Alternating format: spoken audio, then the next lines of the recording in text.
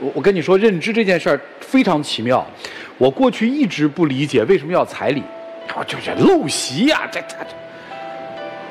节目录多了，我突然就想明白了，为什么女方的家长有的时候盯着要彩礼。今天你一说这事儿，我更通透了，你知道吗？我没有办法知道这个人的人心到底是怎么样的，我得考察他一下。可能要彩礼就是一个人性和人性的考察呀，就是个考察吗。所以你看，你后来的所有的错误都是来自于这儿。失信于你，你非要嫁，别别扭扭，你为什么嫁？你就告诉我别扭了，为什么还要嫁？因为他答应我，他说以后不是，咱俩好以后以后有了吗？结婚这么多年有了吗？不可能嘛，不可能嘛！其实态度已经非常明显了，就是出尔反尔嘛，这不是欺骗吗？先答应你，你人都通知完了，我把你架在火上烤，你没法撤出这个的时候，你要脸不要脸？你要脸，那你要脸就向我低头，这事儿做的不地道嘛。你好好反思反思，为什么你们这个全在那儿蒙人啊？房子说给不给，彩礼说给不给，我就不相信婚礼现场能够乱到说，连那个改口费，你说给个空红包，这你们你们你们干嘛呢？就欺负人能这么欺负吗？所以别抱怨了嘛，你活得太拧巴了。你想要的得不到，你以为抱怨就可以得到吗？依然是得不到的，对吧？别人沉沦，我跟着沉沦吗？我天天把我的生命浪费在这个循环圈里吗？干嘛呢？这是我觉得你没想明白的事儿。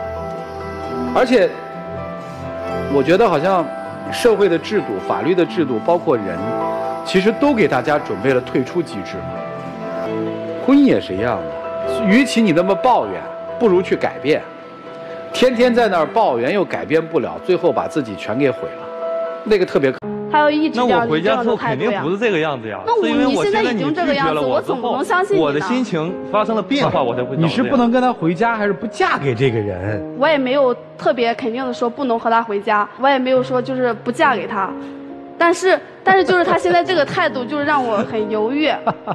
好，来问问啊，你们俩怎么认识的呀？邻居认识多久啊？认识现在两年了吧，作为男女朋友相处多久啊？一年半了，这个他提出回家提出了多久啊？就半年前提的。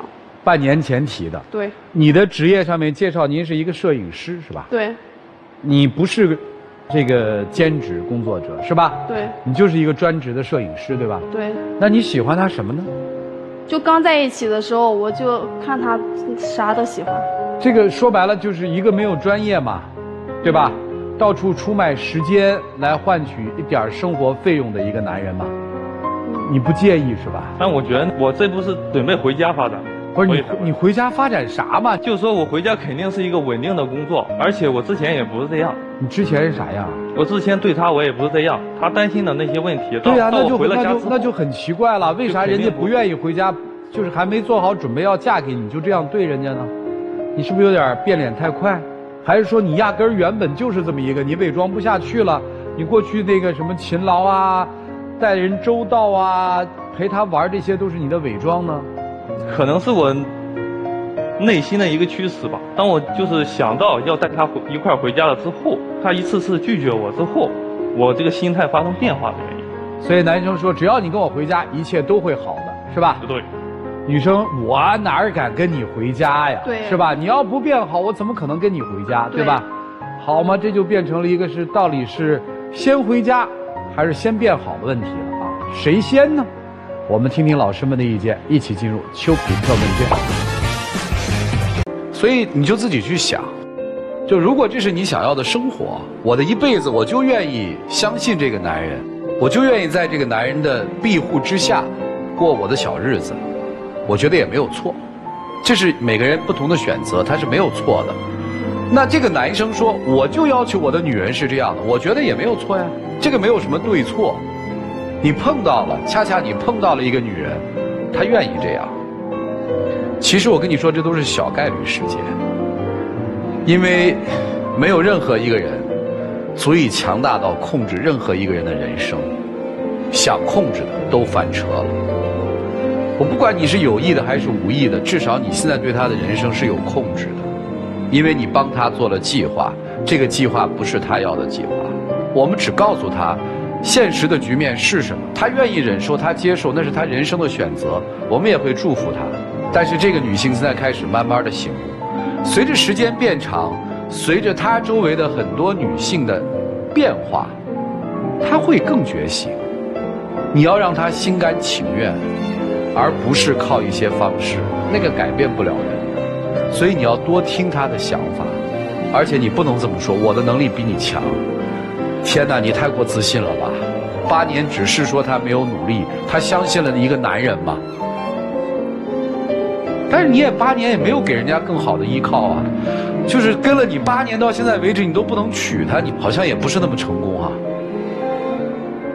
所以咱别那么较真儿，好吗？你至少要做到一点，如果这姑娘经过了这一次，姑娘还说我还愿意，因为我爱，我也离不开，那么希望你能改变，不要再这么去伤她了，不要太自信，太自信会摔跟头的。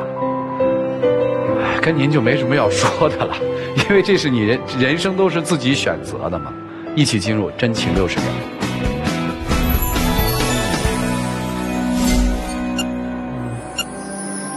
其实刚才听那些老师说了这么多，我希望你真的就是能够好好的，不要老是来掌控我的人生，因为我其实自己也有很多自己的想法，不要每次我一没说完你就打断我，或者是觉得我说的太烦，因为我觉得在一起这么多年了，未来也还很长，我不知道未来到底会怎么样，但是我觉得我希望是能够有一个好的结果吧。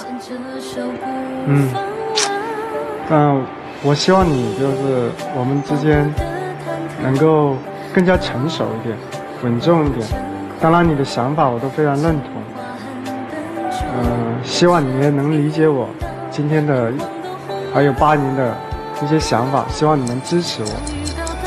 好，让我们可以可以携手携手到老。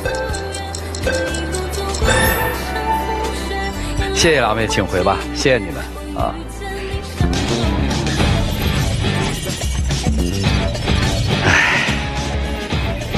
电视机前的观众朋友，欢迎大家登录优酷视频收看节目的完整内容。接下来就是结果预测了吧？我相信二位都会出来。对，因为八年的习惯，一朝爆发就改，这个事情太难得了啊！我也觉得肯定会出来，而且我觉得不是男方一定要控制女方，女方就喜欢这种生活方式。我其实希望女孩别出来，先去把自己找到以后，男孩再去追她。我觉得这个爱他们才能稳定下来。但很可惜，他们可能都会出来。可想而知，两人都会出来。但我真的希望女方不要出来。唉，看结果啊，看结果，请开门。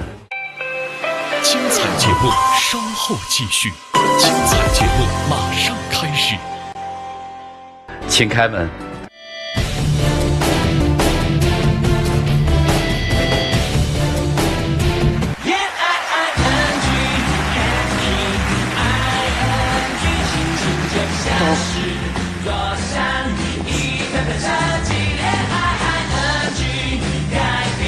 接下来，一起见证属于他们。